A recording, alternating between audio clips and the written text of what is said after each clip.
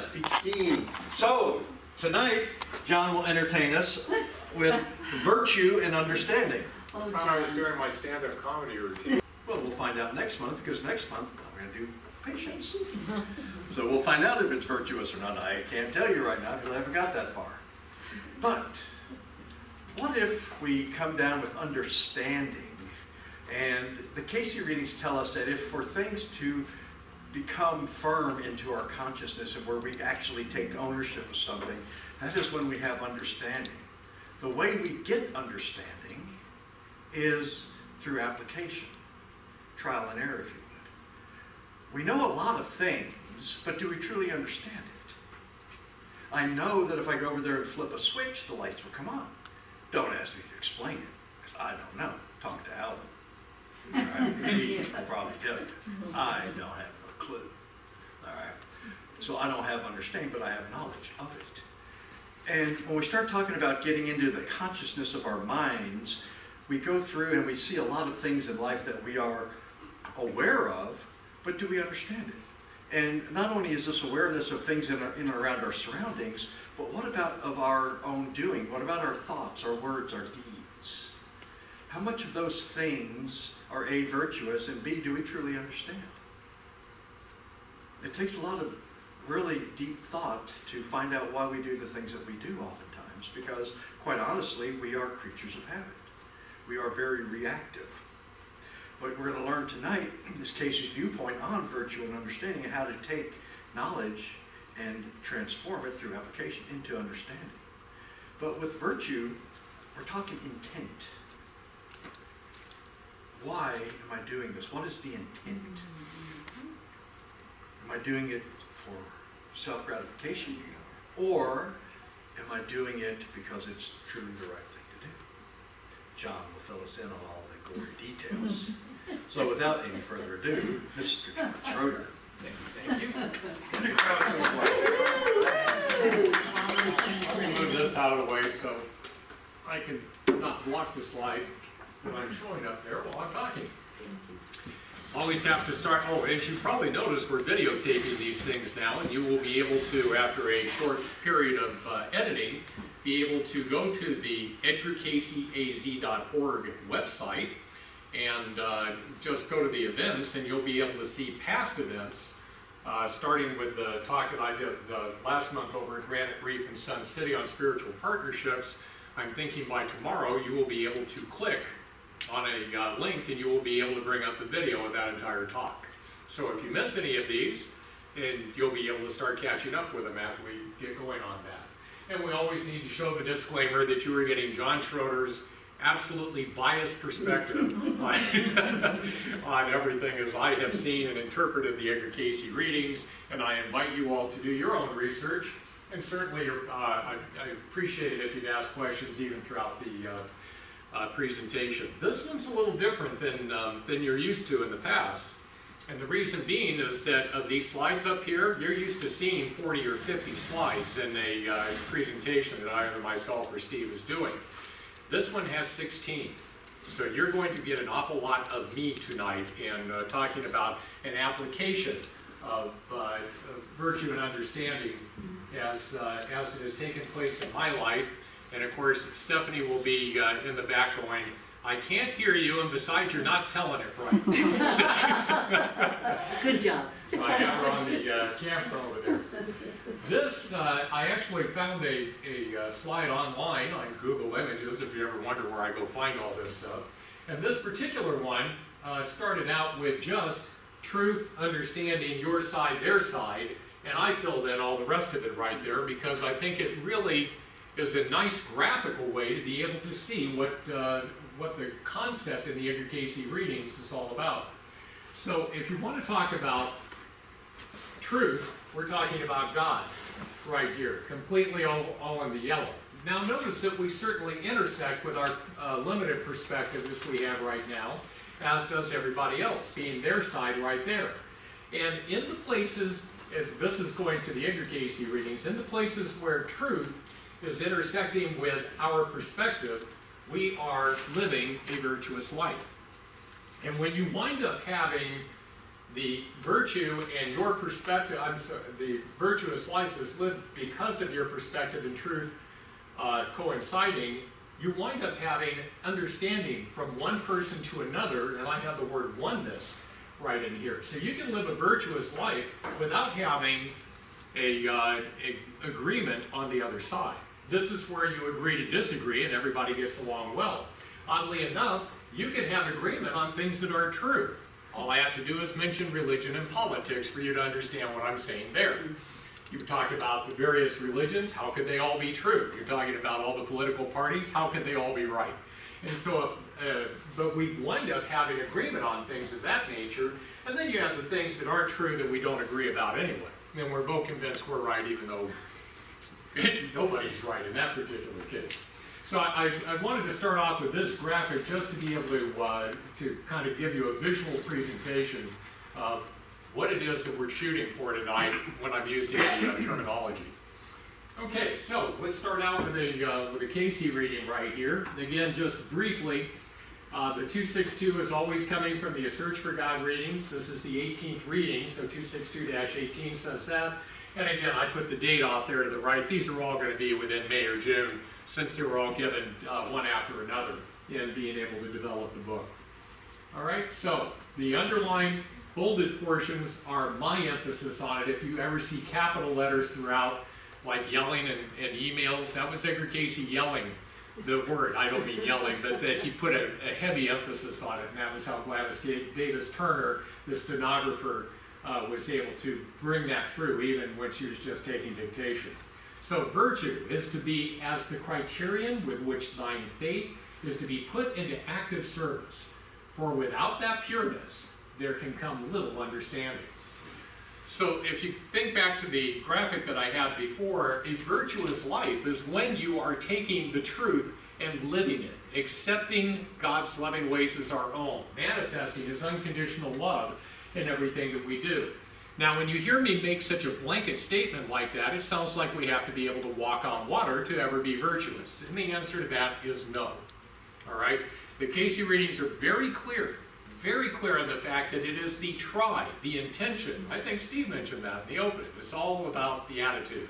It's about the intention that makes all the difference as far as it is the try that is counted for righteousness. That's actually a quote. I don't have the slide for it, but that's a uh, quote from the Cayce material that says it is our effort and, excuse me, intention that is counted toward righteousness, and then there's the other side of that, that if we're trying to do the wrong thing, oh well.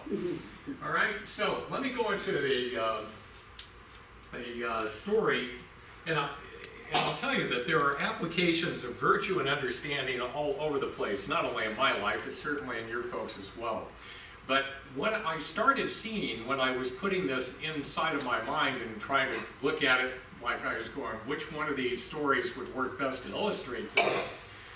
Anything that had to do with prosperity and tithing wound up being so much clearer an example. The reason being is that we tend to think of that as something that is measurable. It's very difficult to measure how much better is my relationship with this person now than it was before. Well, if it's a huge difference, then okay. But everybody can say, I would give you $5 or 10, which one do you want? I think everybody would know which one of those to choose from. So it's to be able to put everything into a uh, into the concept of of uh, money was really helpful in my mind. Let's see if we can't agree on this. Uh, some of you have heard this story before, but uh, bear with me in terms of the lesson, in terms of virtue and understanding, because this is going to uh, illustrate a time in my life where I was wrong in the in the initial concept of what it was that I was trying to do and it wound up being right after I got better understanding by living a virtuous life. Uh, so I won't go into the, that many details about this, but Stephanie and I owned a uh, no alcohol teenage nightclub. This was back in the early uh, 1980s. So it was teenagers would come in, no alcohol, and uh, we wound up having that. I think it was 19 yeah 1981 was when we uh, got into that business. In 1983 I wound up splitting. I was in, uh, in a partnership with a guy by the name of Eric, who I've mentioned in other talks. And Eric and I in 1983 decided that we were going to split the business up. All right, we had two different businesses, and I wound up taking the nightclub And it immediately started to do very poorly. And it was uh, certainly for all the wrong reasons in my life that I took that, uh, took that company on. I really wanted the other one, and I did it for all the wrong reasons. I wanted to show Eric how much better a businessman I was, what a mistake he had made. I had all the wrong intentions as far as why I uh, allowed that to happen that way. And the first thing I did was start to fall flat on my face when, uh, when I took that business over. And so Stephanie and I really took the, I mean, we did everything we could, you know, in terms of advertising, black flyers, and, you know, trying to get the word out, change things around. Things were not getting better, they were actually getting worse as, uh, as time went on. And so we started reading, uh, the Edgar Cayce readings don't call it prosperity, they call it economic healing. But you've probably heard of Catherine Ponder in the uh, book called uh, The Dynamic Laws of Prosperity. And that was one that we really took to heart. I mean, we sat down, read the whole thing, and she's very good about affirmations and being able to affirm what a positive outlook we have on money and how we are acting as a channel, as a guide, as a conduit of God's prosperity to other people and realizing that we deserve to have prosperity in our lives. And so we're doing all of these things in the bullet point list, and then there's the one about tithing. That one we didn't do. And the reason that we didn't do it was because if you're self-employed, you know, when you get a paycheck, the paycheck says, here's the gross amount that you earn, and here's the taxes taken out, and here's how much you have left over. Well, when you're self-employed, you don't get a paycheck, you wind up getting an income statement. Well, we had, here's the income that we made, here's all the expenses that we have, and here's a negative amount at the bottom. I'm going, God, you owe me 10% of it. Didn't work that way.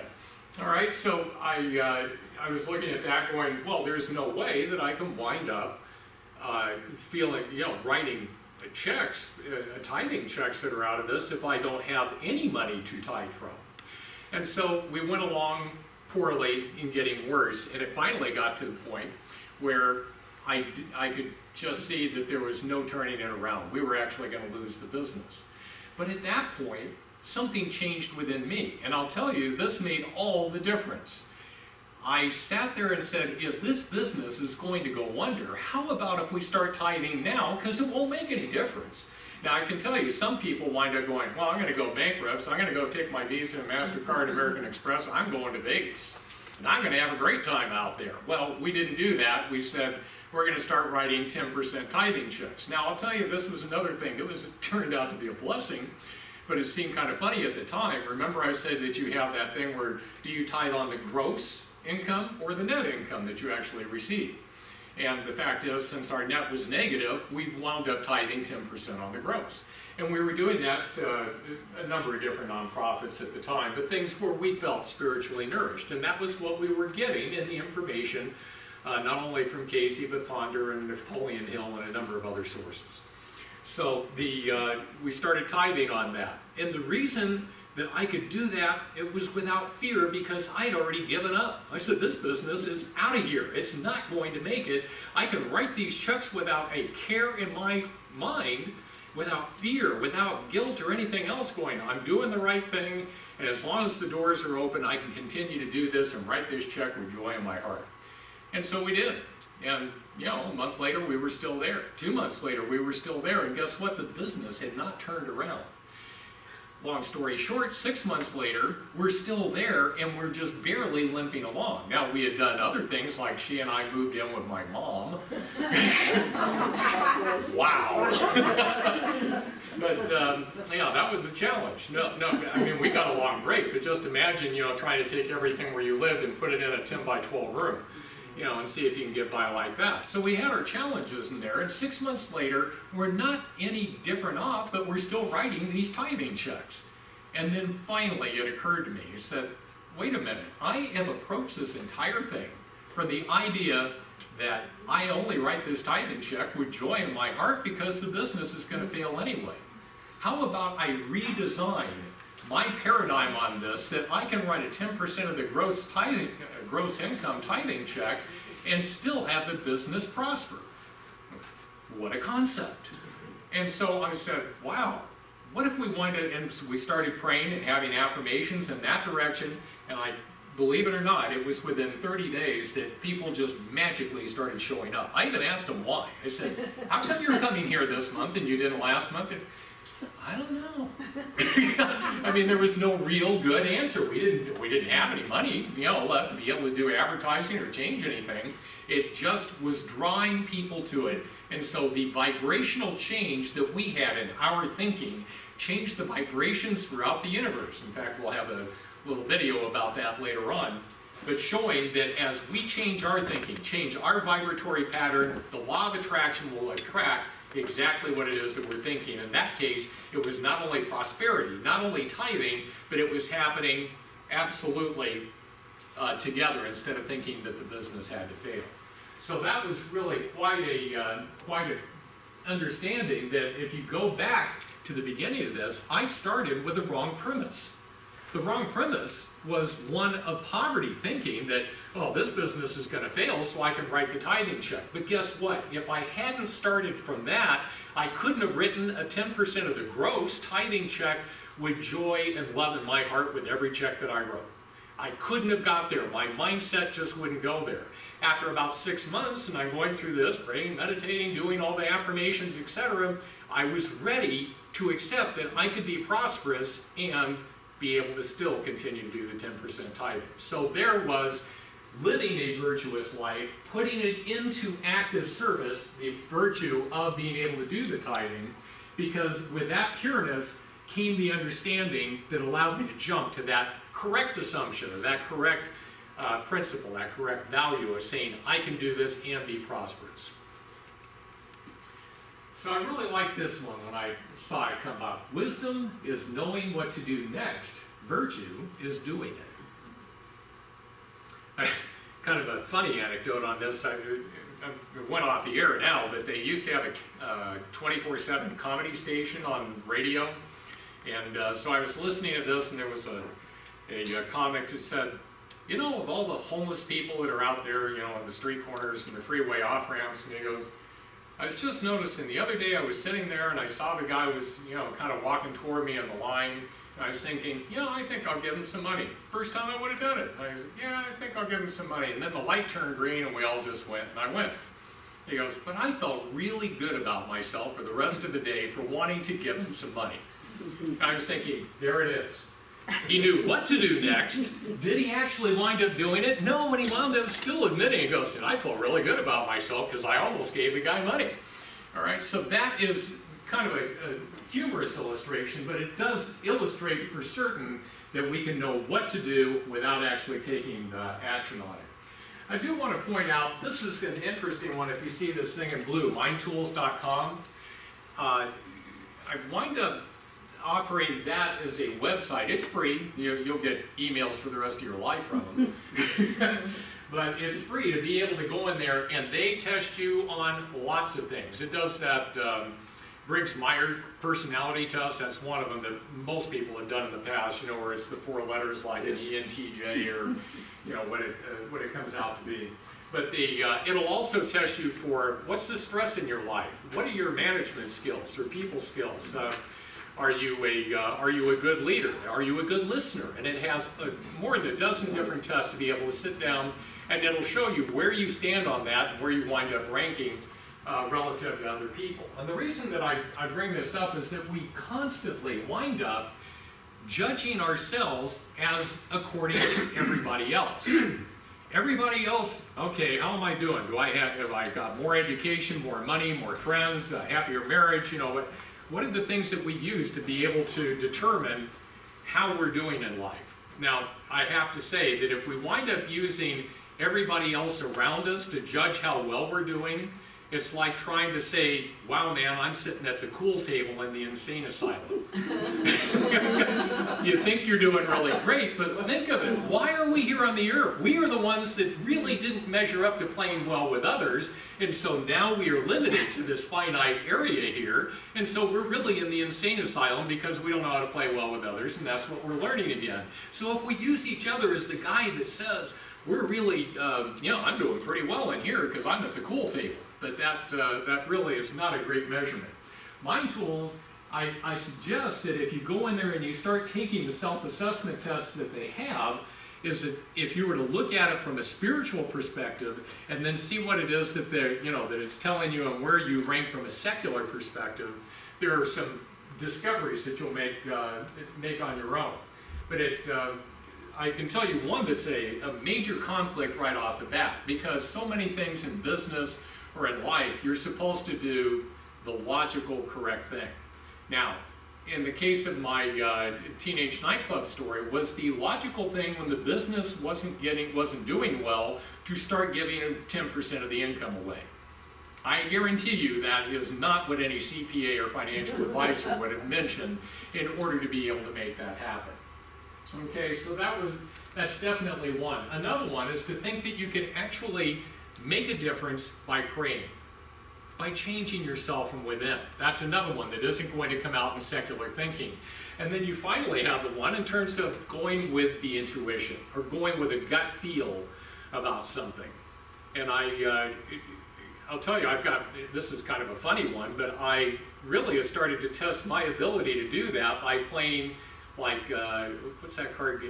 Cribbage. And cribbage, and I'm saying, all right, I could go in this direction or go that direction. I said, I think the next card that's going to come up is going to make this direction be the better way to go. And I'm finding that as I work on that, I'm getting better at being able to judge or guess, if you will, into it what the card, what the better direction would be to go. And that's certainly one way to be able to start it that's provable right away. So these are some of the things that you can do.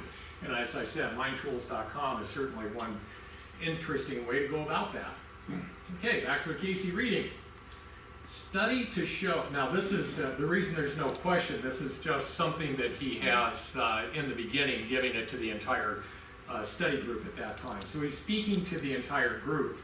It says, study to show that within self which is an exemplification of that which has been gained by each, and as a group. And then comes understanding with that same pureness in self that is demanded by self and thy brother. So, in other words, he's saying, How can I live a more virtuous life? How can I understand things better? They're saying you really need to be able to be the example, be the role model, live what you believe, and show that to others. And once you start to live that, then comes the understanding. I should probably let uh, Al get up here and give the, uh, the electronic description of this. But uh, it, have you ever seen like those great big uh, things you plug into the wall and it has the little, in fact there's one right there on the camera. Yeah, the big transformer that plugs into the wall and then the little line, uh, you know, power line goes to power the thing. Well, what's doing that is either, in that case, it's a step down transformer. And what they do is they put a whole coil of wire on one side, you have all that high power 110 volt coming out of the wall here. And let's say you only need 5 volts on the other side. Well, you put fewer windings of a wire on the other side and set the distance just right. And what happens is, is when electricity goes through a wire, it creates a magnetic field. And that magnetic field, when it starts to go around the other coil of wire, even though they're not connected, that magnetic, magnetic field creates electricity in the other wire. So you go ahead and say, I'm going to have more coils or I'm going to put these things closer to each other, those two things affected, and you're able to go ahead and make the electricity be higher or lower depending on how you go about that. So here we wind up saying that virtue and understanding have that similar relationship. If you go ahead and start studying all this stuff, you're going to have a burning desire to implement it in your life. I mean, if you keep going to a study group each, uh, you know, every other, every other Monday, just about here at uh, Unity, or every week in other places, and you read this stuff, you're going, I want to listen. I want to apply that in my life. I want to be able to make these changes. And the next thing you know, that understanding that you gain by sitting in the group with the other people as you go through that and start to live it in your life starts to make a difference. Then you have the other side of it, which you've heard me saying, you start living a virtuous life like I did with the tithing thing, saying, I could write this check without fear because I'm going under, and the next thing you know, your understanding comes along with it, and you're going, oh wait, no, I can write this check and still be prosperous. So you can come at it from the idea of saying, I am going to be virtuous first and get the understanding later, or you can do the study group thing, or it's reading, or you know other uh, types of or other methods of being able to research this stuff and say, I'm going to learn all this stuff, and then I start living a virtuous life. Like that electricity example, you get the one thing going and the other is going to pick it up. These two, and you'll see it in the readings here later on, Cayce refers to it as the tendon and mortise. Uh, if you remember, like you have a bowl and the thing that mashes the stuff up in the bottom, he constantly refers to things like virtue and understanding as being like the tendon and mortise to be able to see these two things fit perfectly together each and every time like that. so, in, uh, and notice that it's talking about the same pureness that we need to live in, the same pureness in self that we demand of everybody else. So it's not like, you know, this is, we're the only person in the world. Don't we kind of expect everybody else to do the right thing? Well, I guess we do. So this brings up an interesting uh, uh, story in my life. Actually, I don't think I've ever told this one in public. but uh, there was a nonprofit organization that Stephanie and I supported uh, heavily for a, a, very long time. And uh, it, what uh, I was doing, uh, they were one of our major things that we contributed to out of our tithing. And so I asked Stephanie, and she was okay with it. And I asked my mother became a very big part of this because what I wanted to do is to take the money, part of the money that we had tithing to this nonprofit organization and buy a life insurance policy to be able to have as the, the proceeds of that, if and when my mother were to die someday, and be able to take those proceeds and be able to donate that money to the nonprofit. I was thinking, wow, this, uh, this is amazing. My mother said, I don't care. uh, it was a 10-year policy, and what was funny was she goes, I'm not sure I won't be here longer than that, but it's up to you if you want to do that. So that was her feeling, was she was going to be there uh, longer than 10 years, and I said, no problem. So let's go ahead and, and let's see what happens. And so I, we did. We put a, uh, a $250,000 life, a 10-year term life insurance policy there, and this nonprofit had a uh, had a location with a mortgage on it, and it would have more than paid that mortgage off and put a lot of cash in their pockets. So, and I did let them know about it. I said, you know, we have this out here, so if you're wondering why our tithing dropped, you know, I think the payment was what about $240 a month. So if our tithing is dropping $240 a month, you'll know why. I just wanted you to understand that this was out there. Okay, so we go along and there's year one, two, three. My mother's in perfect health, and the uh, and we're going along and about oh I don't know I want to say year seven or eight, uh, wound up having a, a, conflict of interest in terms of the directions that we wanted to see the nonprofit go in, and the directions that the people that were in the board wanted to take it in, and so you know, it didn't leave angry, but we did decide, okay, we're going to go someplace else that, uh, that winds up uh, aligning, since you're supposed to give to the places that spiritually nourish you. So it wasn't any bad feelings about that. But we wound up coming up to, uh, to the 10th year. And I was actually at the, uh, I was at the point, because I had the payments being made automatically that were just, you know, being sent uh, once a month without me even thinking about it. But I realized, okay, if this is coming up, I called him up on the just before the last payment was due, and I said, uh, "What do I do here?" I said, uh, "I need you guys to quit taking money out of the account uh, every month." And was it was a fascinating thing the lady said back to me. She said, well, you know, you have a 30-day grace period in which to be able to make your premium payments. So you can actually not make this last payment and still have the 10 years entirely covered. And when we would go ahead and, and cut you off, the policy would terminate anyway. So you don't really have to make the last payment. And I was like, wow. And then I thought about it and went, you know, that's not right. I signed an, an agreement and said I'm going to make all the, you know, 120 payments, whatever it was. And I said, so let's just go ahead and do the, uh, the 12 payment. Well, I have to say that I wind up having a most interesting thing happen. The 10 years expires. And I get a letter from them. I don't know if you know this, but when you have a termination of a life insurance policy, you can renew it. And they came back to me, and of course my mother was, I don't know, 83 at that point instead of 73.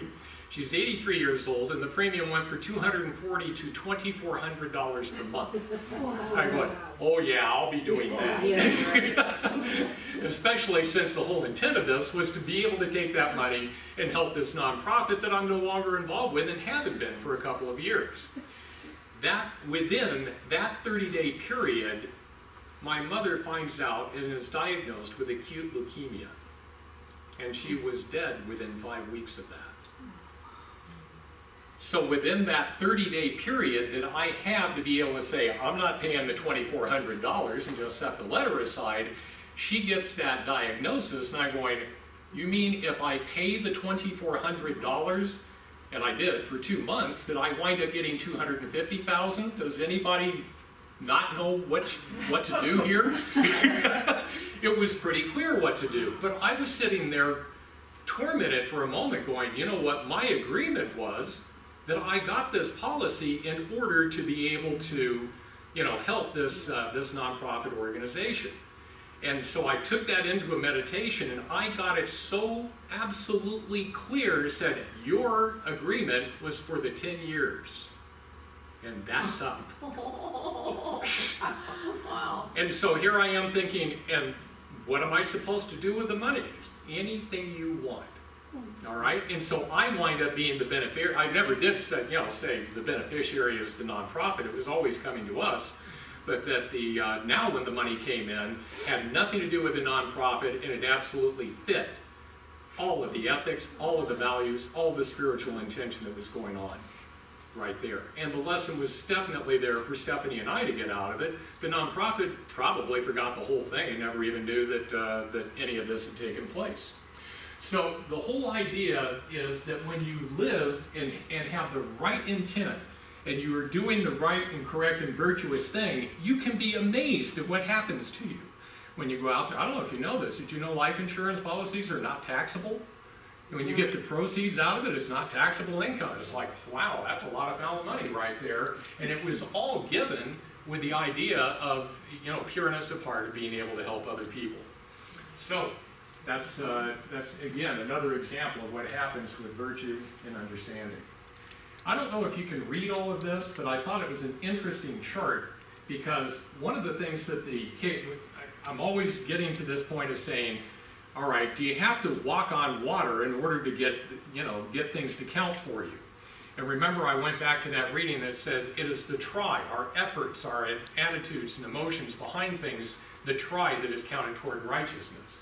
So I wanted to try to give you a number of things to give you what is the situation that you might be in.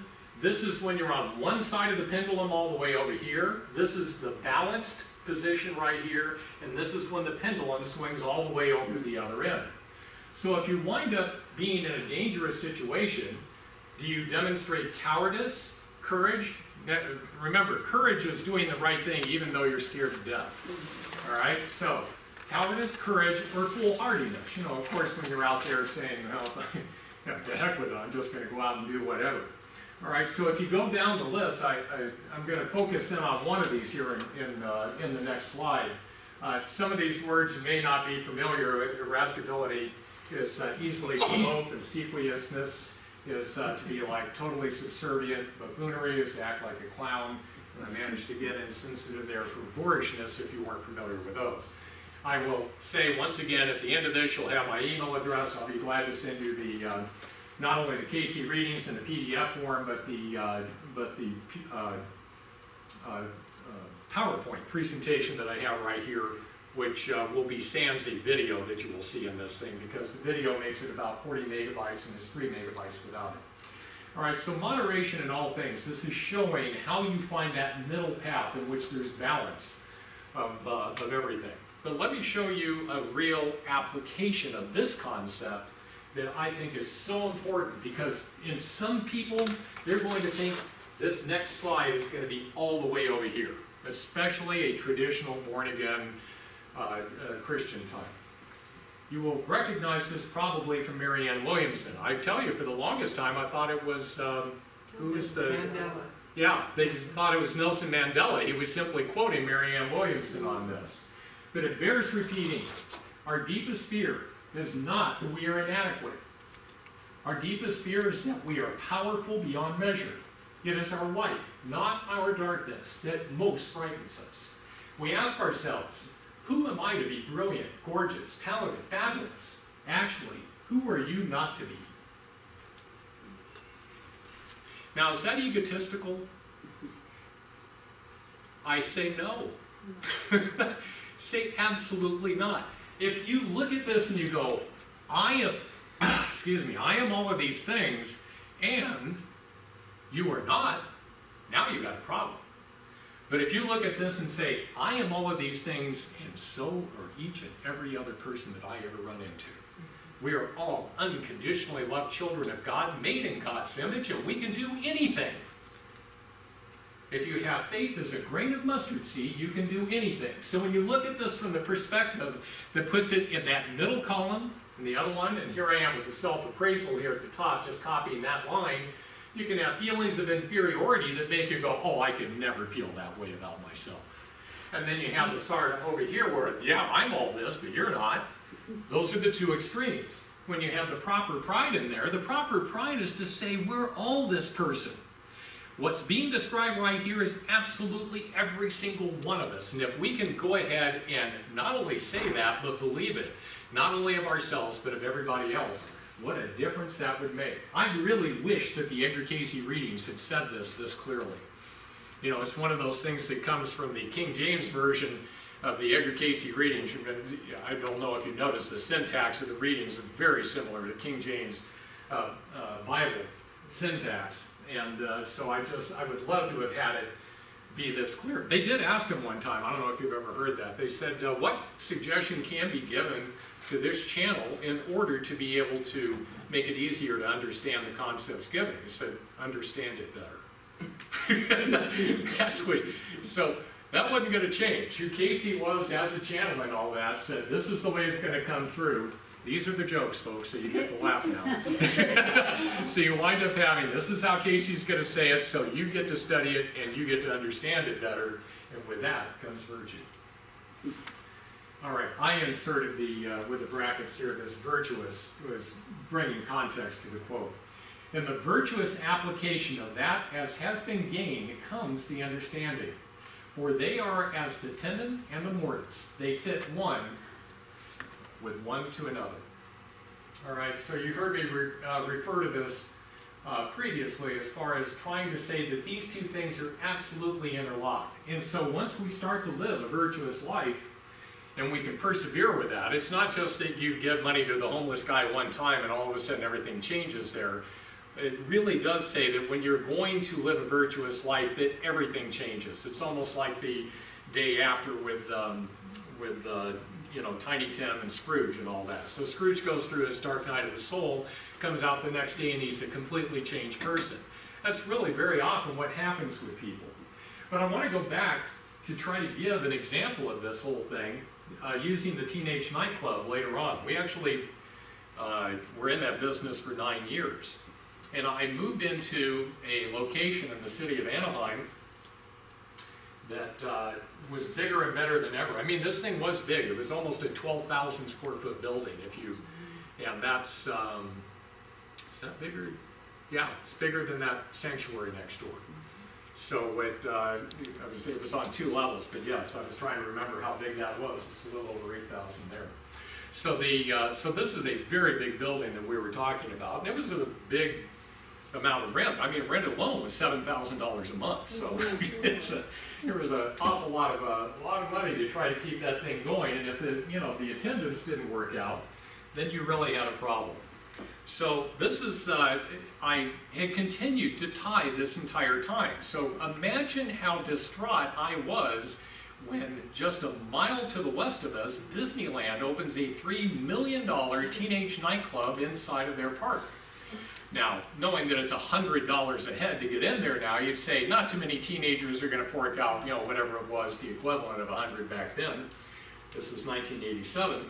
And said they're not going to do the 30, 40, 50 bucks to be able to get in there, but they also, Disney, came up with a great marketing scheme. And the marketing scheme was you buy a $99 pass, mom and dad, for your teenage kid, and they can come in here anytime they want.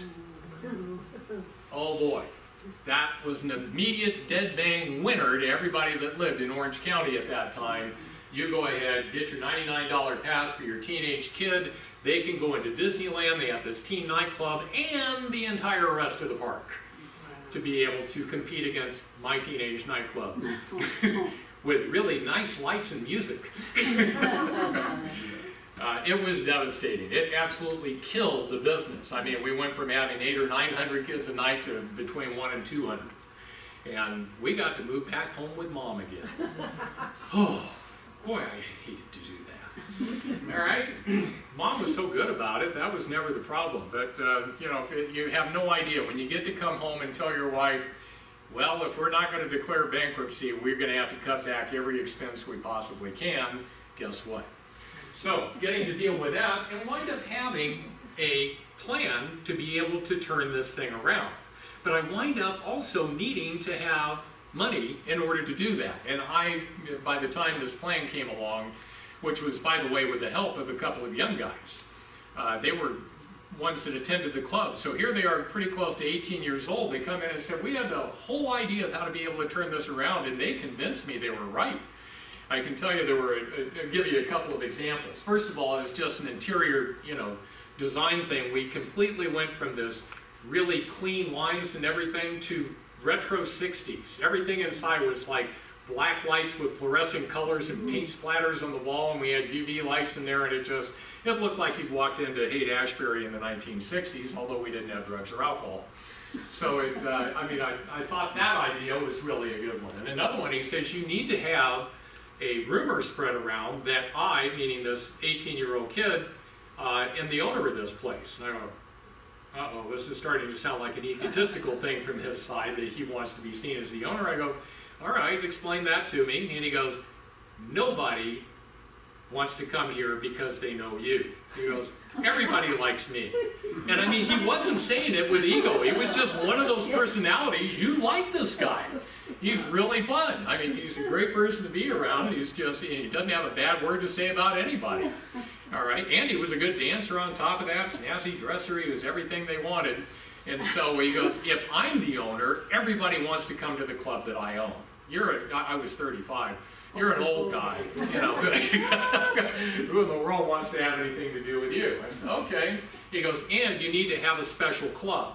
Now, the second floor was just about non-existent. I mean, people, you know, it's hard enough to get them on the first floor rather than go upstairs. And he goes, you need to make that into a VIP club.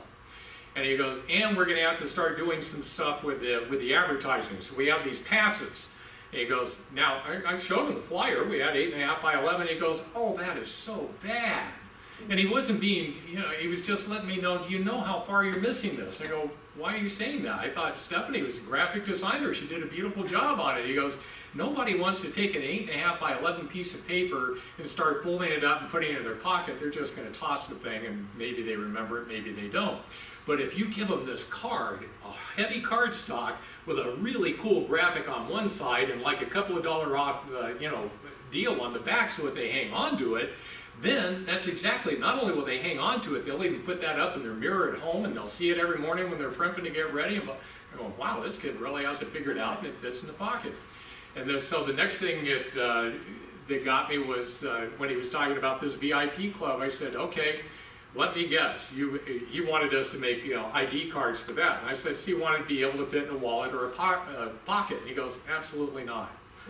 I went, okay, if I want it to be convenient so that they can carry it around with them, he goes, well, I'm not saying that they can't carry it around with them. He goes, but you want to make this thing so it's on a clip and they have to wear it when they come in because now it's a status symbol. I mean, this kid at 18 knew exactly what you, I mean, he, he had it down and I didn't, so I really needed his help.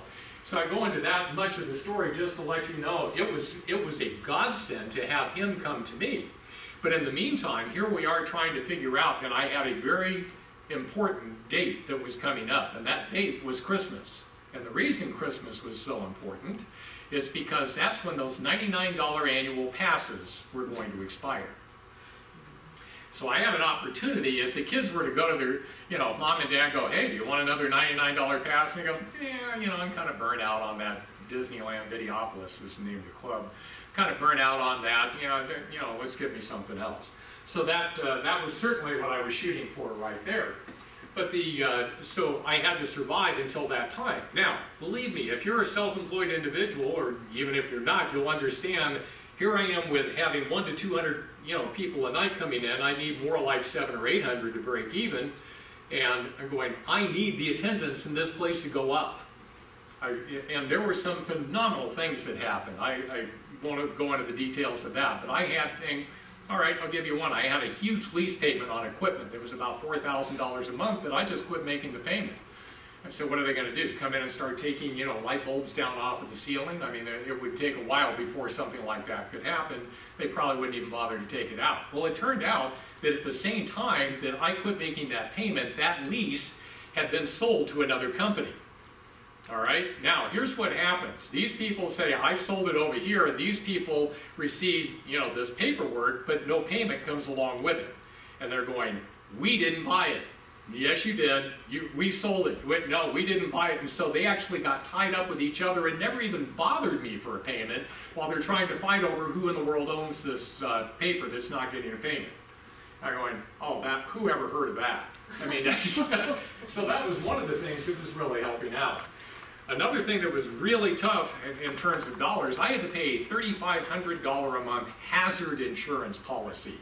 That's how much it costs when you have teenagers involved.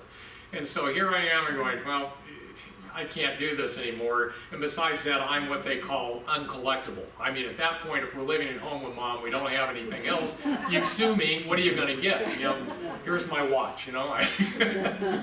Stephanie says, not that, I got that for you for dying. so the, uh, anyway, I, I, went ahead and said, all right, called the insurance company and said, I'm done, I, we're gonna have to stop this. And they go, well, we need to come down and do an audit of your books. I said, okay. You know, I had nothing to hide, so the guy comes down, he's, you know, he takes a look at all of our deposits and records and all that stuff, didn't say a word, backs his stuff up, and he goes, you'll hear from us after a while. In the meantime, I'm so far gone on this thing, I literally had called a, uh, an attorney to file bankruptcy. I said, this is it, we finally got, I'm not gonna make it until December, even though there we were in about October at that time. It, I just, I needed fifteen thousand dollars somewhere, which I couldn't come up with, in order to be able to do all these changes I knew that would make a difference. So the attendance wasn't going up like I'd asked God to do and he didn't. so he didn't make the attendance go up. I don't have the money. I've run out of time. I made the appointment. And then the uh, day before I go to see the, uh, the attorney with the appointment already made, I get a letter in the mail from the insurance company. And it turns out I wasn't paying very close attention because my insurance premium was based on a percentage of the club's income. The $3,500 a month premium that I was paying was based on the previous year's income, which was really good. All right, so I'm paying a high premium because of the high income I had before. The audit was to find out, oh sure, you're really only making this amount of money when this previous year you were making this.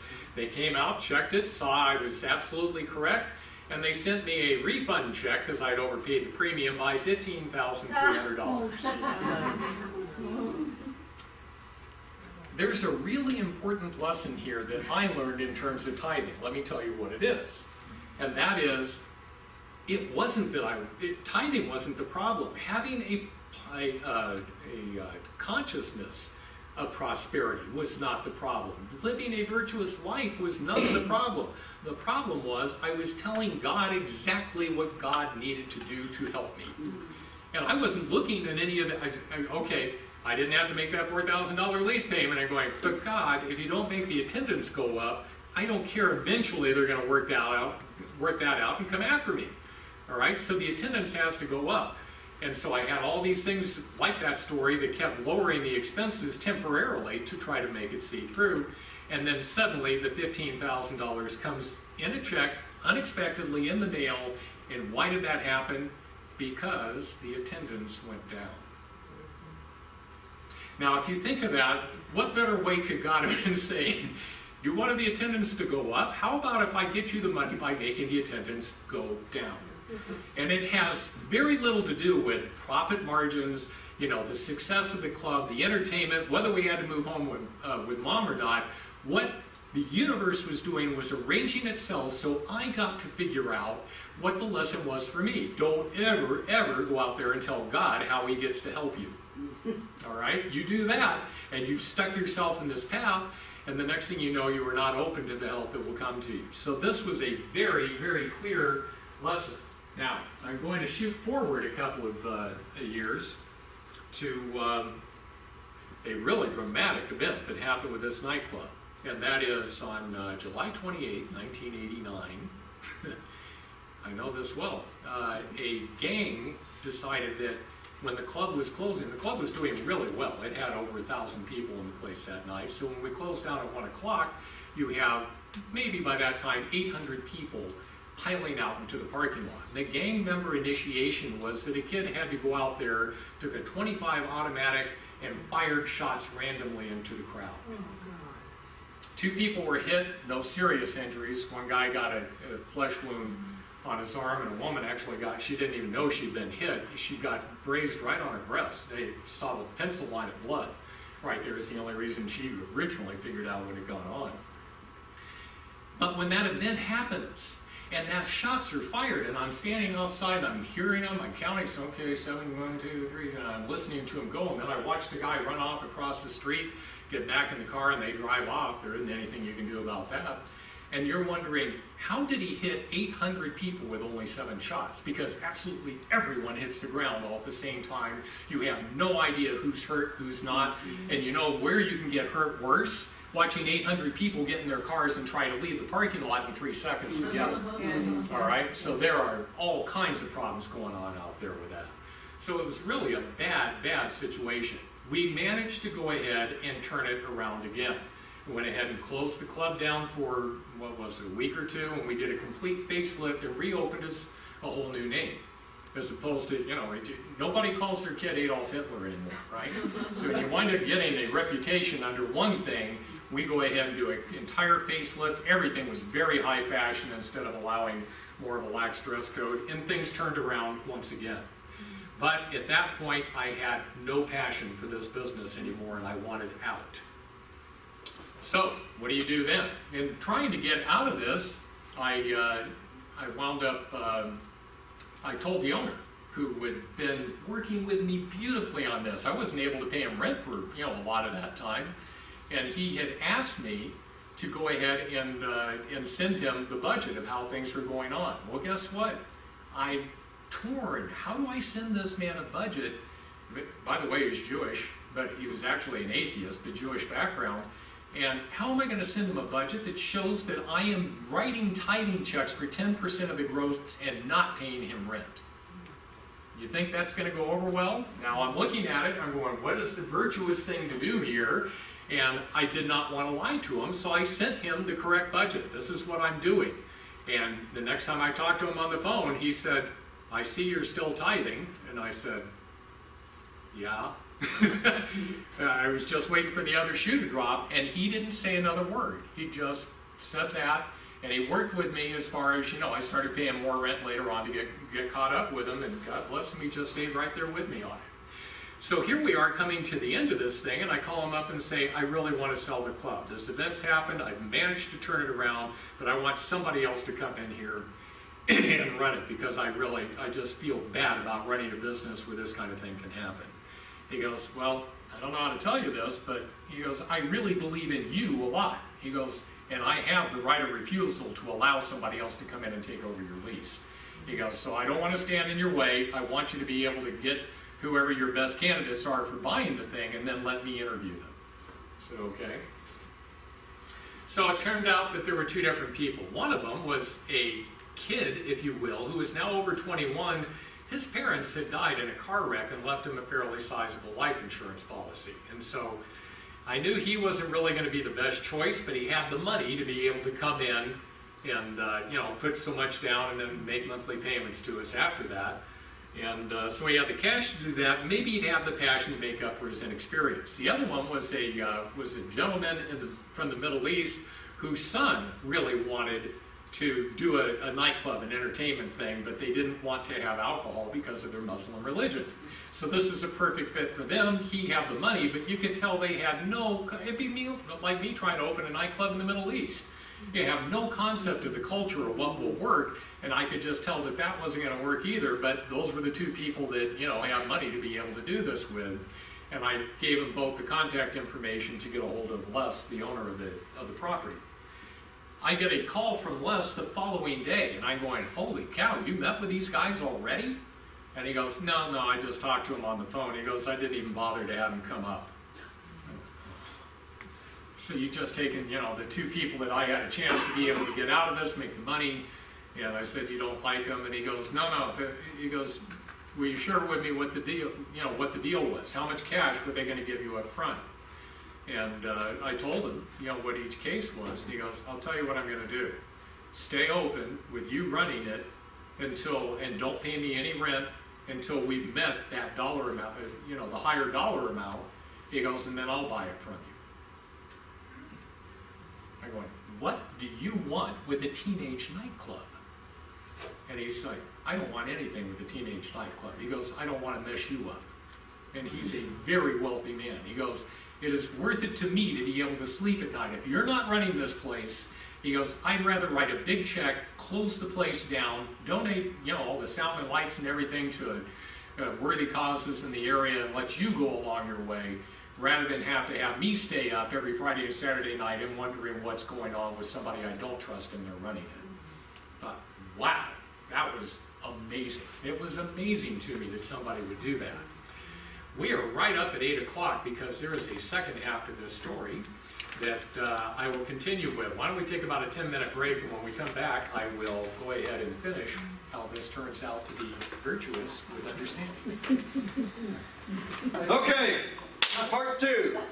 So,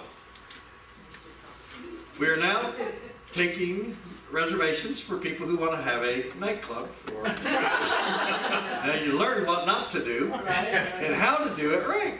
Right? Very, very interesting. So you now have all everything you need to know about how to have your own personal teenage nightclub. Isn't this wonderful? You thought you were getting virtuous understanding. John and Stephanie don't have their own children, they had two thousand five hundred million in LA. Exactly. On, on their best behavior. Oh. Oh, yeah. Oh. Exactly. So anyhow, very, very interesting on how we are tying virtue and understanding into mind being the builder, isn't it? Remember, that is one of the most prolific statements that Cayce ever made is about the mind being the builder. Because what we do and think, we start to create. We need to remember that we are, in fact, as Marianne Williamson's little thing said, we are all little gods and godlets running around. We have the ability to create. Now, what comes in is next month's story about patience because we want it right now. Right? Well, it doesn't work that way in this dimension. In the future, it will.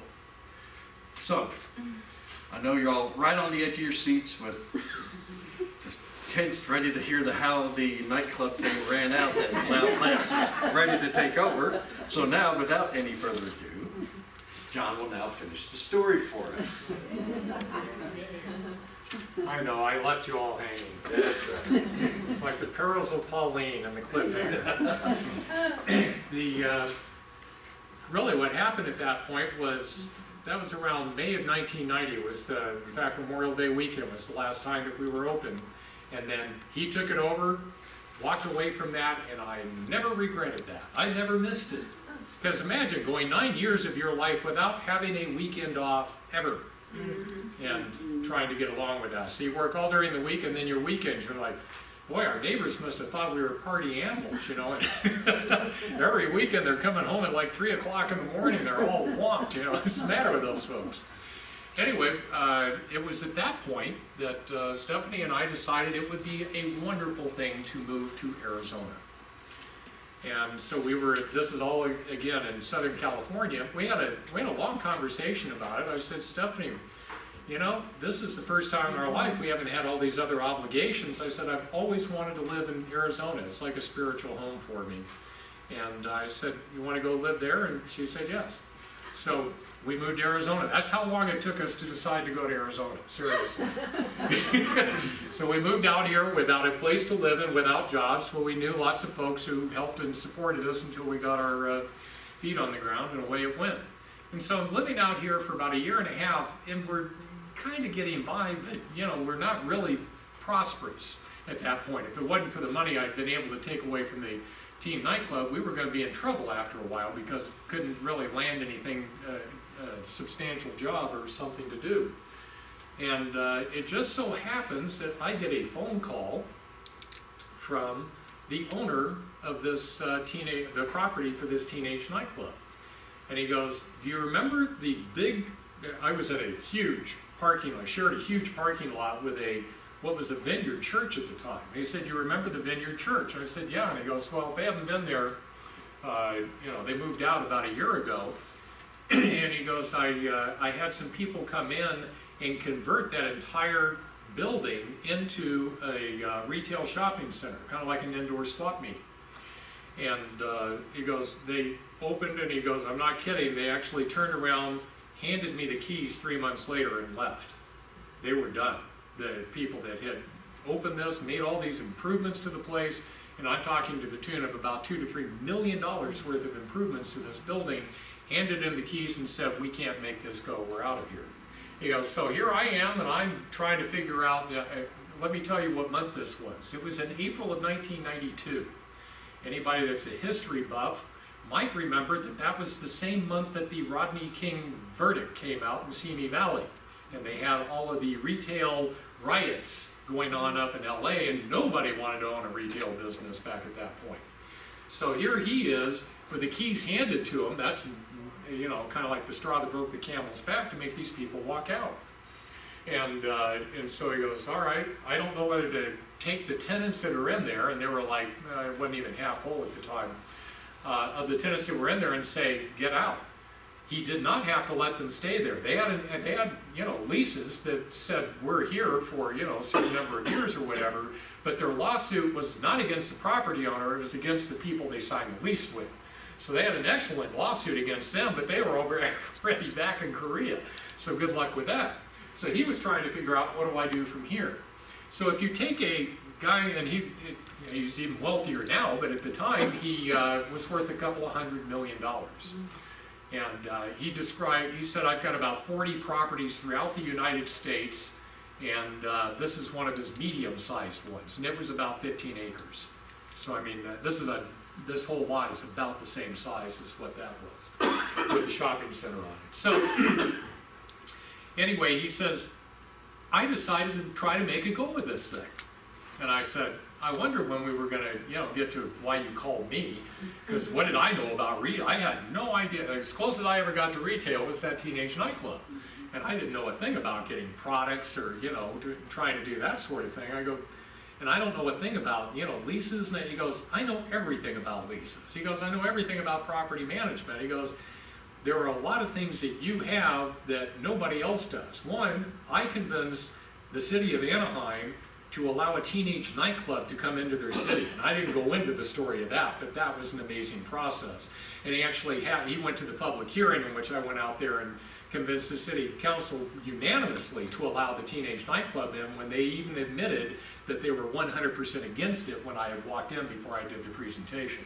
So he said, you have a good reputation with the city of Anaheim. He goes, this indoor swap meet has a terrible reputation with the city of Anaheim because they're not doing anything they've asked them to do.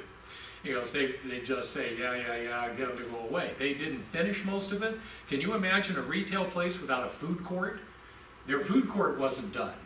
And so is, all of the all of the plumbing in the place, the all of the water was warm because the hot and cold lines were just switched all over the place, and it was a pigsty in there. And, and it was because they had just cut back all the maintenance and everything, trying to get as much cash in their pockets as they could before they left. Well, bottom line is, is he's sitting there with us, and he goes, "I have to get this thing turned around." And I need your help to do it because I, he knew that I knew a lot about advertising and being able to do radio and television. I have a tremendous background in that sort of thing. And uh, he goes, so come on down, and I would like to buy some consulting time from you, but I'm going to let you know I want you to be my general manager. I said, well, I'm not so sure I'm leaving Arizona, but you can sure, you know, get me to come out and consult with you. So I did. Went out there, and uh, it, what was funny was, is he, had, when you take a guy that rich, one of his good friends is the guy that owns Universal City Walk. If, I don't know if you've ever been to that whole big shopping complex. he has him come down. He looks at it, he goes, oh, what you gotta do is just build a wall right down the middle of that thing and take, you know, the, and move everybody over to one side and make the rest of this office buildings. He's going, I don't wanna go pour another couple of million dollars into this. He goes, can't we come up with something that would be able to make this work as it is without having to spend all of that money in order to get, be able to have, have it happen? I won't go into how I did this, but I went in there with a, I didn't need a shoestring budget, but, because he had the money, but I figured out how to be able to do this, leaving it as an indoor swap meet. Within a year and a half, it was one hundred percent full, and making twice the rent per square foot as it was before. And he and I were just getting along famously. Everything was wonderful. I remember going out to lunch with him after I'd been there a couple of years, and I said, Les, I've never asked you this, but I really want to know, why did you track me down? I hadn't seen the guy for a couple of years, hadn't talked to him at all. I said, what out of everybody that you know, the Universal City Walk, all these other people that are so into retail, and you weren't listening to them, you went and asked for me. He, go, he goes, well, it wasn't so much your advice, although that worked out well. He goes, I really wanted you to be the general manager of the place. I said, well, I guess I kind of understand the skills and all that, but what made you think of me? And he goes, do you tell me about, you know, monthly as being the GM around there, because I had to take care of all of the rent. These people pay their rent in cash, a lot of them. He goes, you're handling over a hundred thousand dollars a month in just cash, let alone all the other checks and all that. I said, yeah. And he goes, well, he goes, do you realize what a potential for embezzlement that is? I go, not really. you know, it never even occurred to me. I mean, that, that sort of thing would just, it wouldn't it'd go in one ear and out the other. I wouldn't have a thought like that. And he goes, exactly. Mm-hmm. And he goes, I remember back when you couldn't pay me the rent at the teenage nightclub, that even though you were home living with your mother and were just barely scraping by, that you were still writing a 10% tithing check every month to nonprofit organizations. He goes, I knew you would never rip me off for a penny. Not for a penny. And he goes, I needed that more than I needed anything else. Because I sure wasn't going to be the guy who's going to be down here every day running the thing. And he goes, all the rest of this was just, you know, icing on the cake as far as what you were able to come up with outside of that. So here, I, you know, I, Les had given us a, you know, the rent breaks got me out of the teen nightclub, allowed us to go get established, so that when I wasn't doing the management of the of the marketplace, and we moved back here, everything was great. All right, but in the meantime, I left him with what was a boondoggle of a property under the worst of circumstances, to where he easily makes two to three million dollars a year net off of that place and it's still 100% full to this day. You can look it up online, AnaheimIndoorMarketplace.com.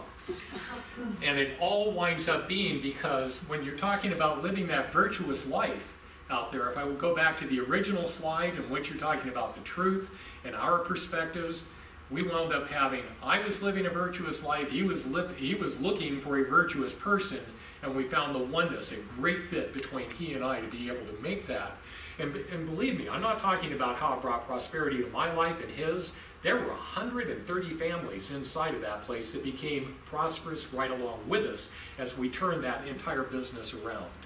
So it, uh, it wound up having a difference not only on our lives, but on the lives of every one of the store owners inside of it. And that was because he looked to be able to say, you know, what is it that I need to have here? And it just caused the universe to make him think of me at that particular point.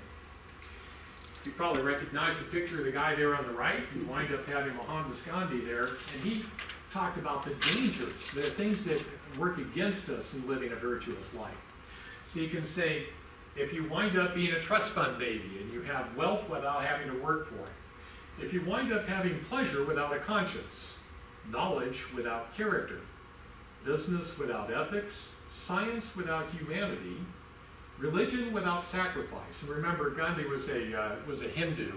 Uh, nirvana is the heaven that they talk about, which is to get rid of all earthly desires. That's really the rough definition of what nirvana is. So religion to him was definitely sacrificing ego. And then finally, politics without principle. So you wind up wondering where are the blocks out there? It isn't that if you wind up being a trust fund baby that you wind up not being able to have a prosperity consciousness, all of these things, there are people that you can come up with that are the exception to the rule. But if you have that sort of thing in your life, you darn well better figure it out how to overcome that because it's more of a stumbling block to be a trust fund baby than it is a gift, much as we would look at it differently from going in, uh, in the direction that we have. All right, back to the Cayce readings.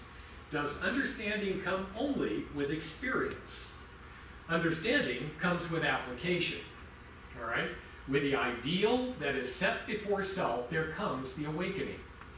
Doubt that makes for muddying of thine experience, this then makes for a less understanding.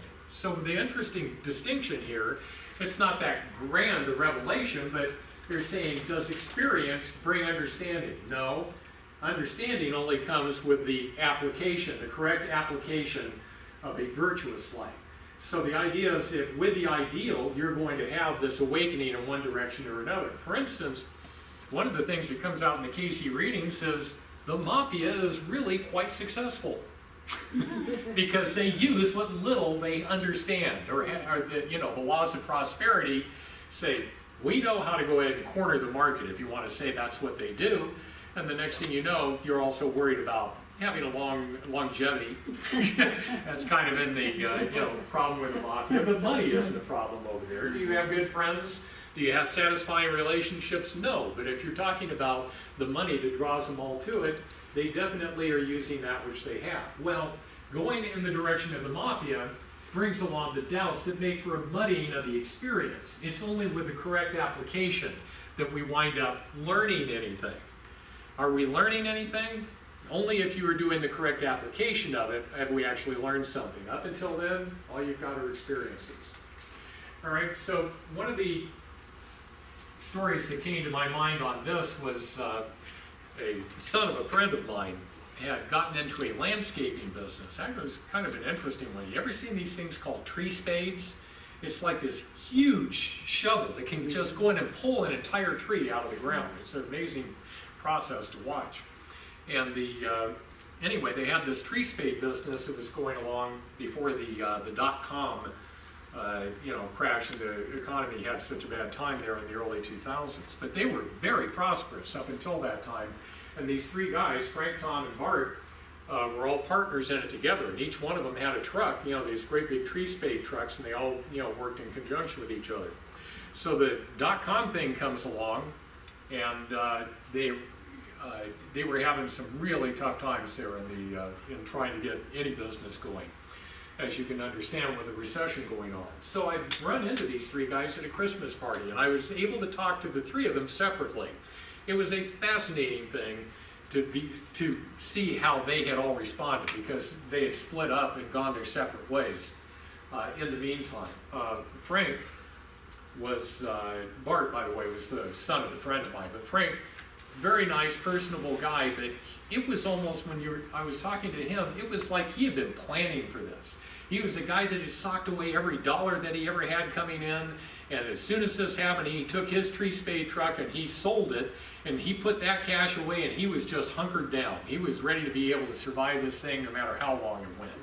And that's how, and so he got out of the business and just had his cash, and he was, you know, just ready to see it through. Tom, on the other hand, he had a, uh, Frank was single, but Tom had a wife and he had like five kids or something, and he said, I don't know what I'm gonna do. He goes, I've got the truck, but I'm hardly working, and I've got all this cash that's going out for my kids and this and that, and, and, you know, house payment, and they live in a beautiful house at that point. And he goes, I'm afraid I'm, I'm gonna lose it all here in the next few months. But what can I do? I mean, I'm stuck with all of this stuff, and so he, he was just gonna continue to go until somebody threw him out of the house, took his cars and all the rest of it. That was his plan. Then I go over and I'm talking to Bart and I said, boy, it looks like your two uh, partners over there are having a, uh, having a tough time with this. He goes, well, I'm not having an easy time of it. He goes, but I'm, I'm keeping my guys uh, busy.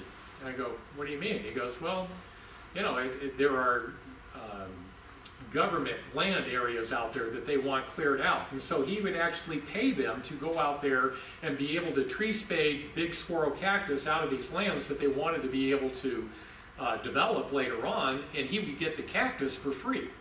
Because the government laws were that you couldn't, they didn't want you to kill the saguaros.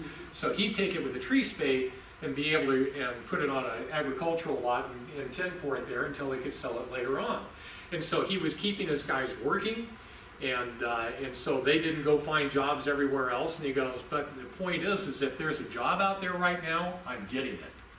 And so he was able to increase what you call your market share. Say if he was getting 10% of the business before because all these people got out, he now had 50% of the business even though he wasn't making money. And when the economy turned around again, he wound up making millions off the business. All right, so those three different approaches where you can hunker down, the other guy's just going to spend, spend, spend, and hope that things turn around before it all winds up working out. And then there was part who wound up saying, no, I'm going to keep my guys busy and I'm going to look at this as being an opportunity for growth rather than something I have to be afraid of or hunker down to. So this is, this is where doubt makes for the muddying of the waters out there and you get less understanding, but if you have the correct virtuous application of it, you can do what Bart did, and he took the situation and made himself wealthier than ever, whereas the other two didn't have such a good time with it.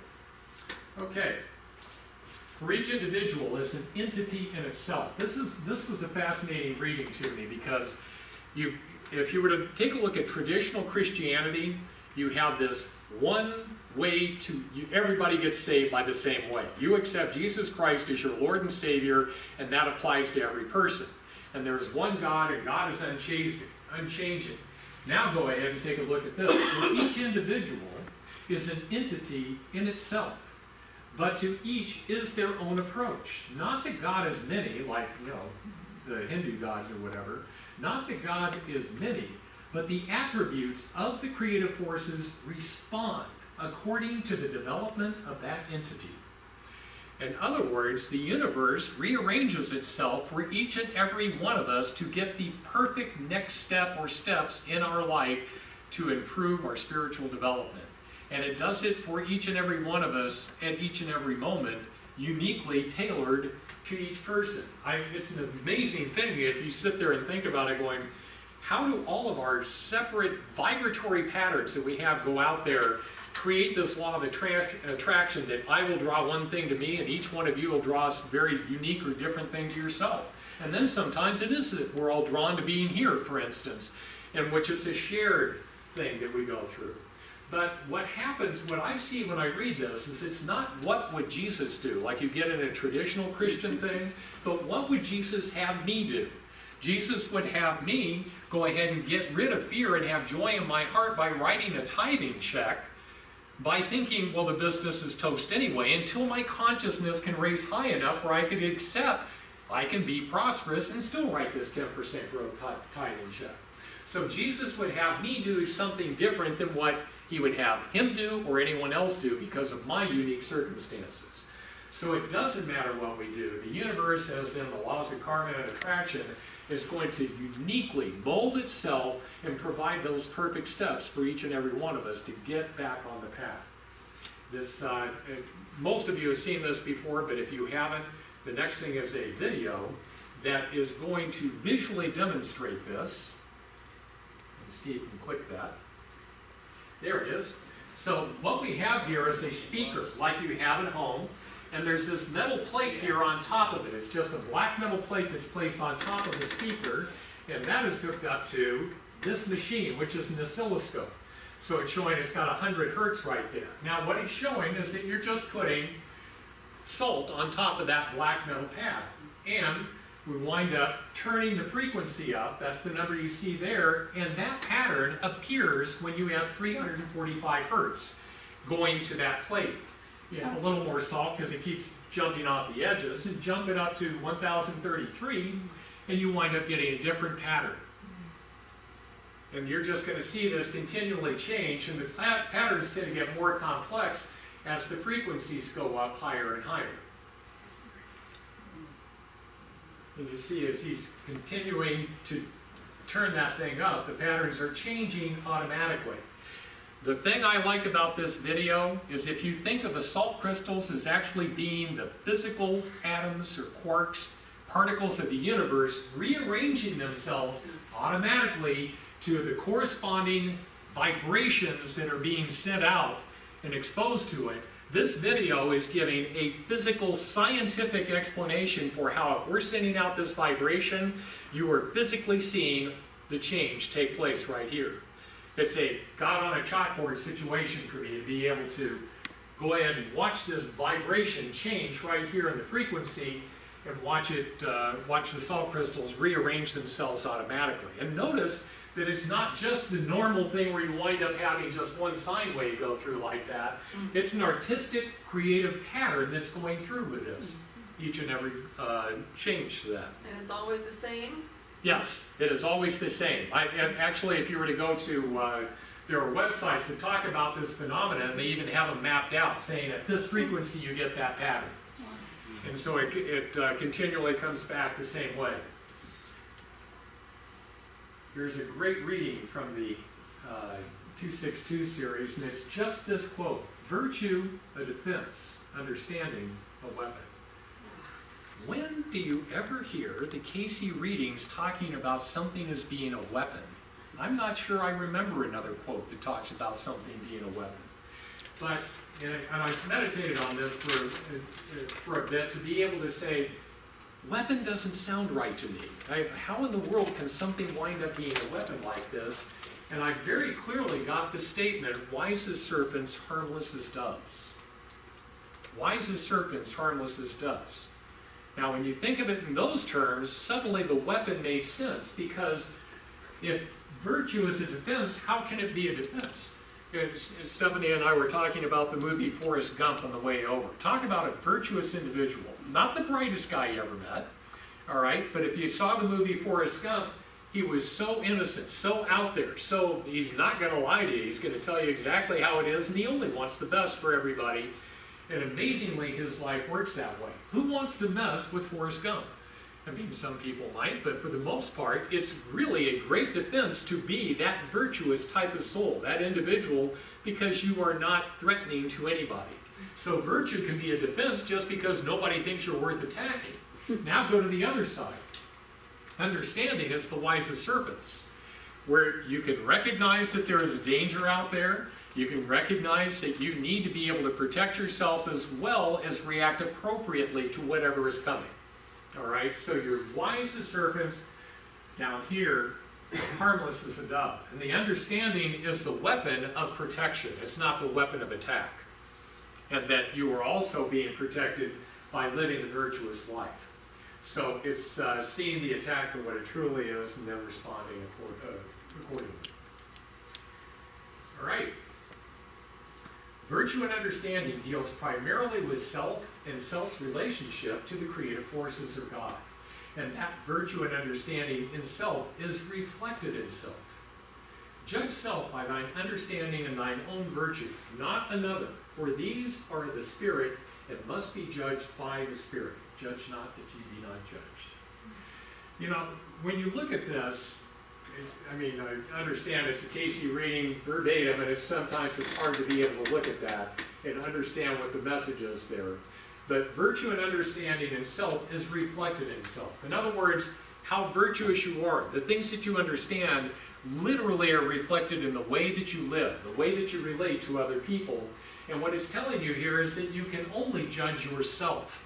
If you're seeing somebody else out there, in fact, uh, you know, Cayce reading says there is so much bad in the best of us, so much good in the worst of us, that it doesn't behoove any of us to think ill of another. So that whole thing is making clear that we are only to go ahead and use our standards to be able to judge ourselves. Not that we don't uh, evaluate other people, but we don't condemn them for not living life and acting as we would. There's a very big difference between judging and condemning. So the interesting part for me, and, and the Edgar Cayce readings are clear that our destiny is to freely choose God's loving ways for our own. And once we get to that, we wind up being on the path back to God. It says this is our destiny because how long can we resist the love of our Father? If you've got somebody who's the perfect parent, and they are doing nothing but meeting every choice that we make, good or bad, with absolute unconditional love. At some point, we are all going to figure it out because we cannot resist the love of our Father forever. So we are not to condemn others. And then the, the incremental improvements that, uh, that happen along the way for each one of us. I'm reminded of the, uh, of the story. In fact, we live across the street from the um, uh, Herb and Anne Puryear. And she has a, a really good book. It's called Stephen Lives. She's a uh, psychic and was able to communicate with her son after he committed suicide at the age of 15. And the interesting part was that she was she had so much anger to get over because the uh, man that she was married to at the time, not now, uh, the man that she was married to at the time was a real hard nose, and so he was constantly on her son Stephen over and over and again. It was really you know hurting his self-esteem. I mean things like literally getting a ruler out and measuring that you didn't get more than two inches of water in the bathtub or you were wasting where you only got uh, two or three ice cubes in the, or you were wasting in the glass. I mean, he was that fastidious and trying to save money at every point. And it was just driving Stephen nuts, and Stephen ultimately killed himself. He, he hung himself at the age of uh, 15.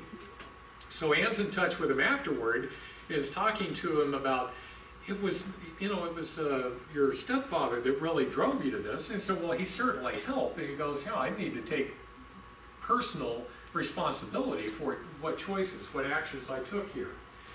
And she goes, but I don't understand. He was so horrible to you. And she goes, oh, oh, allow me to put this in perspective for you. This is not the first lifetime that he and I have had together. And in fact, things are a lot better now than they used to be because I didn't have to commit suicide. He would usually kill me first. Oh, All right? So if you want to look at something like this and you're going, as awful as that situation was, it was an improvement over their previous lives together. Both of them were making such horrible choices and having such conflicts between each other, and then he'd actually kill him in previous lives. So it was good that it, it was actually incremental improvement, that he was just being this guy that was very difficult to get along with, and certainly didn't help Stephen to not commit suicide, but it was so much better now than it had been in the past. So, when you, uh, I want to go back to uh, virtue. It, it, this is an application in terms of trying to understand the uh, wise as serpents, harmless as doves. How do you wind up getting there? Many times judgment can be replaced with understanding. And by truly seeking to understand others, you will yourself be far better understood. So it's kind of taking wise as serpents, harmless as doves, and combining it with the golden rule, isn't it, in terms of how to apply this in our lives. So we can go ahead and say, we could take, we could go ahead and say, Hitler is one of the worst, you know, human beings that ever walked the earth. But if you go ahead and take out all of the stuff that we all know that was evil about him and realize that he had the oneness of the Aryan race, I mean, if everybody walked around with blonde hair and blue eyes and was, you know, this super metahuman with incredible intelligence and just did everything perfectly, he would have been, oh, this is heaven. Now, God says, I like variety. Hitler didn't know so much back then. But you see what I'm getting at is there is a way of looking at what he was shooting for that was just a misguided attempt to say we're all one big happy family. What he wanted to do is here's the one big happy family, but he thought it was just this group right here. And so if you look at it and say, boy, you know, he's just misguided as far as where he was headed, but if he could just expand that group to include everybody, he still got the concept. We all want to live together in peace, happiness, harmony, and not see any fear or condemnation of others along the way. This is a fascinating one to me. Truth is not learned, it is earned. And that was the statement he's saying. That statement had been made previously. Please go ahead and explain it. Truth is as experience, hence is an earning, through the manners in which a finite mind becomes conscious of what truth is. John Calvin. Truth is as that which may be earned through the experience of the knowledge and understanding concerning the laws of truth, for he is truth. All right, so we've talked about this in previous slides in terms of making sure that we do an application of the truths that we learn as we go ahead and study. And the interesting thing is, is that you have to understand that as we start to live a virtuous life, as we start to emulate Jesus as the role model in our life, we start to wind up experiencing the miracles that wound up happening in his life. So you, you wind up saying, okay, if I make loving choices with the best of intention, I want a win-win situation in every circumstance for everybody that's involved in something like this, you start to have the amazing things happen to you that happened to Jesus. He needs to pay his taxes. You can pull a gold coin out of a fish's mouth and go pay. I mean, you're going, how do you do that? Well, we got to feed these multitudes, all right? You get five, uh, you know, the fishes and loaves together, and the next thing you know, you're able to go ahead and accomplish that miracle as well. There isn't anything that doesn't wind up working to your advantage when you have the right ideal. So you wind up having two companies fighting over who owns the lease instead of coming after you for the money. All right, so th- there's always going to be those kinds of experiences. Now, the idea is, how does this actually work in reality? Anyone ever seen that movie? Uh, it- It's a cute movie, but the premise behind Groundhog Day with Bill Murray is, is just very instructive too. Because you take this guy that is so self-absorbed as he was in the beginning of it, and on a daily basis, I, I, if- if anyone hasn't seen this, the premise is, is that he winds up being a news reporter that goes out and sees Punxsutawney Phil, you know, predict the weather, and he's really disgusted that he's having to report on Groundhog Day, uh, you know, for the traveling news team. And the problem is, is that when he goes to sleep that night, he wakes up and the day starts again. And it keeps having the exact same thing happen again. And the only differences that happen to the day are the differences that he makes. He could choose to go stand over here or stand over there or drive a car off a cliff or get in people's way, you know, or, or have a conversation with them. Whatever he was going to do, he could affect the day. Everything else kept happening the same over and over again. The bottom line is, is that it got to the end of the movie, he finally got it. He was able to go through a perfect day in which he did everything right, and it was a win-win, and he got the love of his life. And when he woke up the next morning, it was the day after Groundhog's Day, mm-hmm. and he was able to get on with his life from that point on. So I really think that was very akin to what reincarnation is all about. We are going to constantly meet ourselves on a daily basis, and the only thing that's going to change are the changes that we make from within. And that we're going to be able to make those changes in such a way that we can fix this part over here and then fix that. And we come in with a different soul lesson with each of these incarnations. And we go, we get to just focus in on this today. Like Bill Murray worked on, you know, whatever it was that day to, uh, you know, learn more about the piano, or he became an accomplished uh, physician so that he could save uh, you know, the old man's life who had a heart attack, the homeless guy, and so on.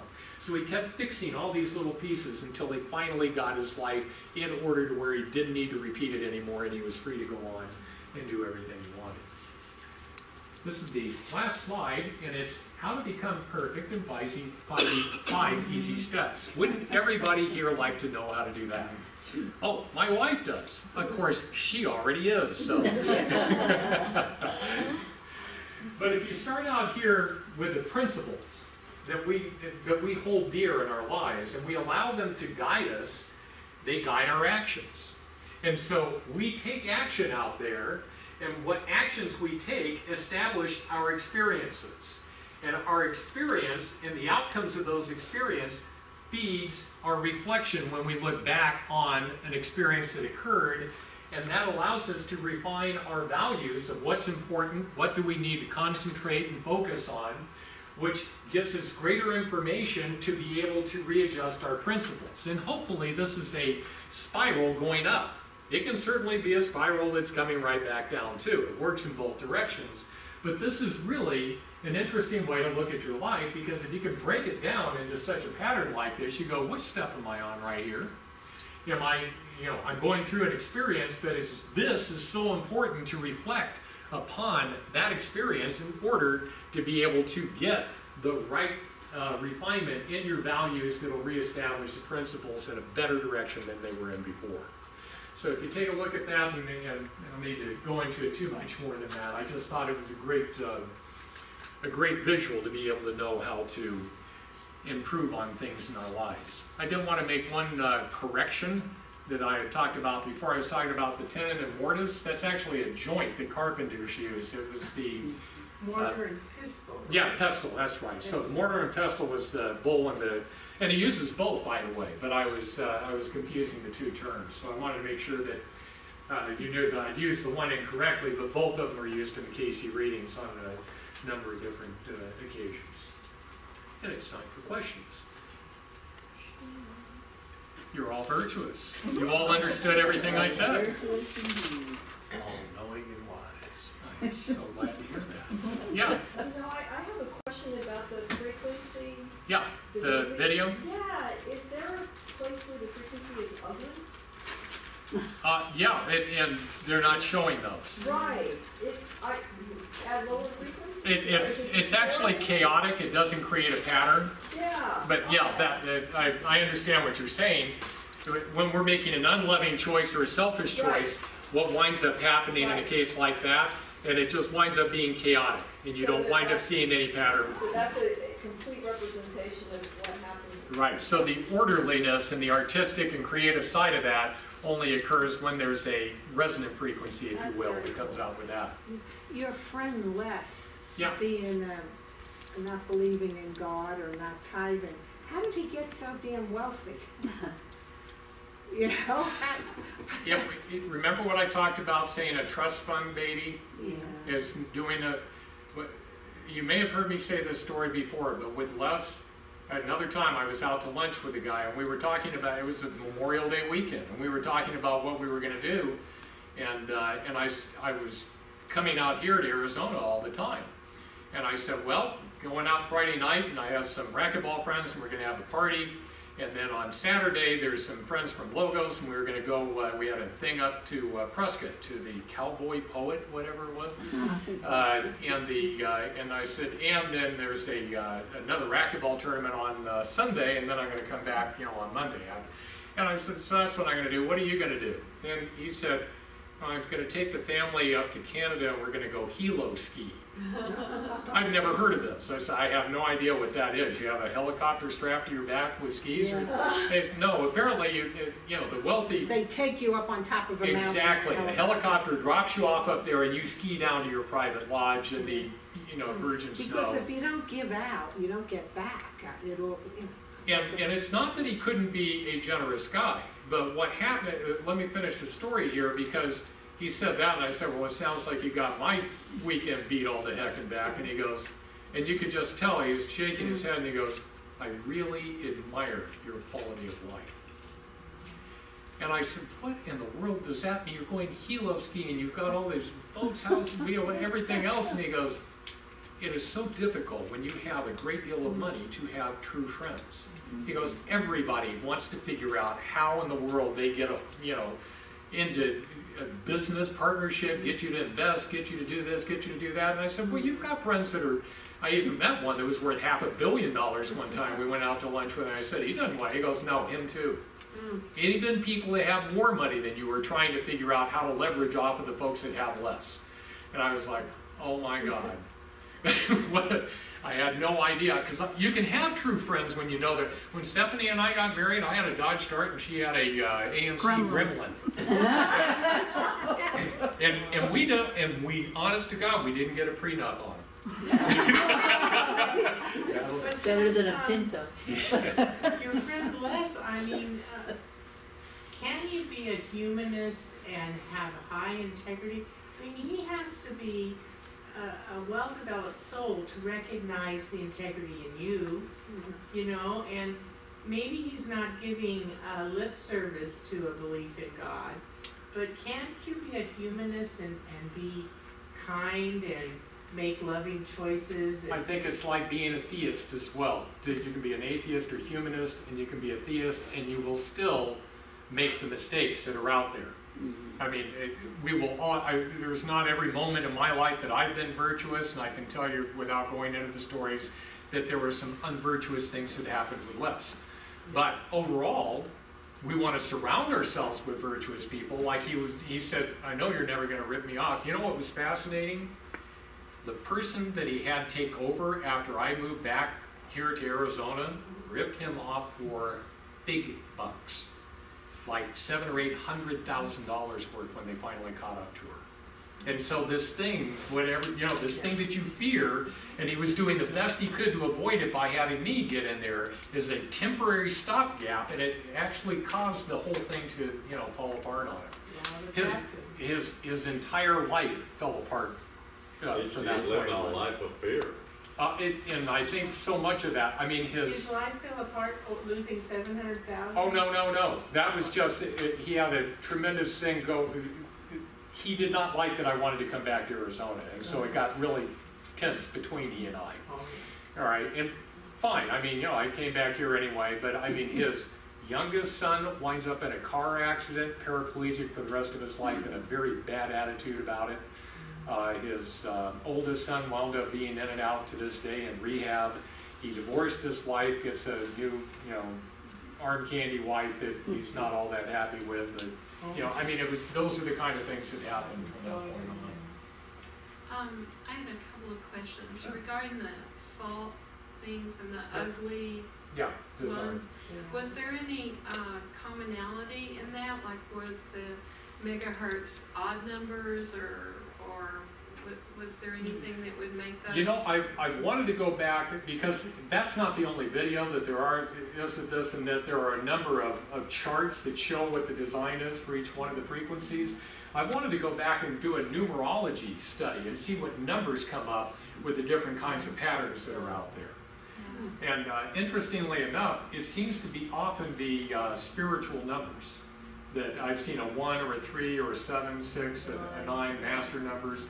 I don't see, I, in fact, the only twos that I've seen have come up as an 11, which is a master number that, that's up there. And that was just in my quick cursory look at what I saw in there. So, yeah, there could be a real uh, thing about numerology as compared to um, what designs and patterns come up there. That covered? Yeah, I have one. Oh, sure. One more. I, I'm just starting to, uh, try to understand, Uh, it's a new con, or new, un- new teaching to me of, like, you change your vibrations or something and the world changes around you. Mm-hmm. Mm-hmm. Um, are there any, there's a lot of Edgar Cayce books out there, is there any one book written that would address that? that specifically in a book. I, I can, there are a number of books that will allude to it. Probably one of the best, and this is, this would be a short anecdote from uh, Herb Puryear. He, um, he was the head of education for back in the ARE.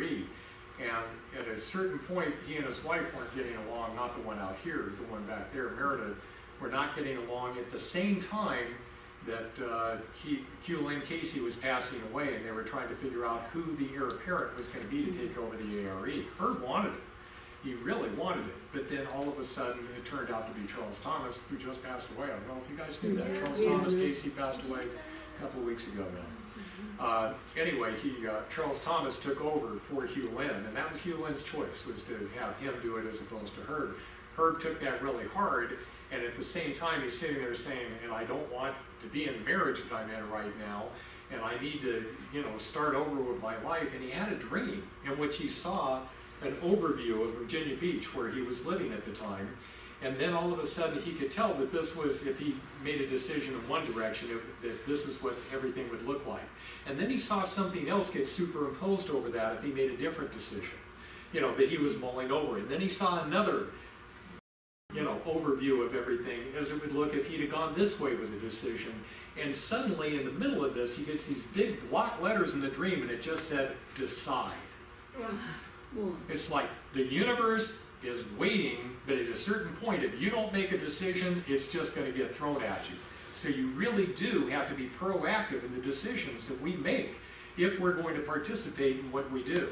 Remember, uh, you probably heard me talk about in the study verse before that anything like astrology or numerology or I Ching or things like that that predict the future are really only talking about karmic circumstances and laws of attraction have come down to about 20% of an effect on our life.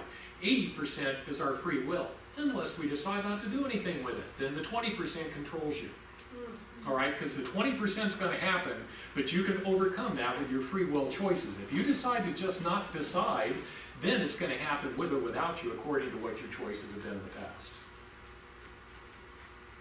There is a book by Kevin Todeschi, Edgar Cayce on vibrations. Oh, well, and that, because I haven't read that, I don't know for sure that, but if, if there's one that's going to do it, Kevin would have written it. He's got 30 or so of them, so. How do you spell the last name?